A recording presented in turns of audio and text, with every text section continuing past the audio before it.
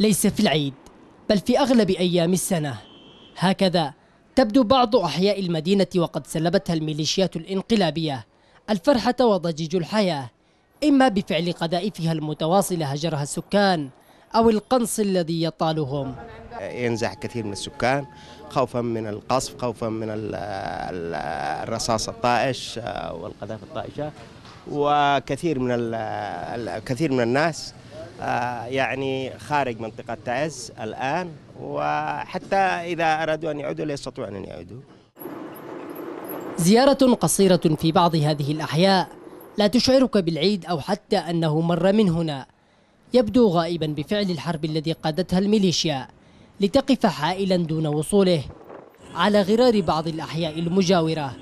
فالقليل من بهجة العيد سرت هنا إلى أنها لا تبدو مكتملة وإن حضرت يبقى جزءا مهما منها غائبا أو مغيب باختفاء الحدائق والمتنزهات التي كانت ترتادها العوائل والأسر وأطفالها.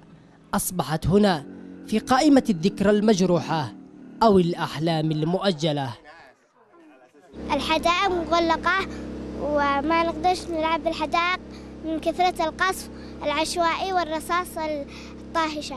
العيال يلعبون في الشوارع ولم يجدوا أيضا مجال للذهاب إلى الحدائق أسباب إنه في قذائف متواصلة من قبل السلال من قبل القصر الجمهوري من قبل يعني يضربوا عليهم قذائف ما يقدروا يتواجدوا يروحوا أي منطقة يلعبون إلا في الشوارع نفسه.